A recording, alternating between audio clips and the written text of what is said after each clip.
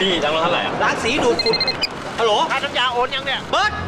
ถอนเงินจากบัญชีหมายเลขหนึ่งเนี่ยเข้าบัญชีเฮียเกียรติจ่ายค่าน้ำยาแล้วถอนเงินจากบัญชีหมายเลขสองเจ็ดหมื่นนะทำแค่เช็คสองหมื่นอีกสี่หมื่นเนี่ยเขาเป็นกระแสรายวันผมเช็คกี่ยุทธเช็คเด็ดเอาแบกหมดผมกำลังออกไปโอนให้อยู่พี่ใจเย็นครับทำไมยังไม่ได้โอนโอนแล้วไงอะไรเบิร์ตสองหมื่นเนี่ยส่งไปหาพนักงานเลยให้พนักงานอย่าดมเมีย นี่คือเหตุผลที่คุณควรเปิดบัญชีรวมมิตร SME กสิกรไทย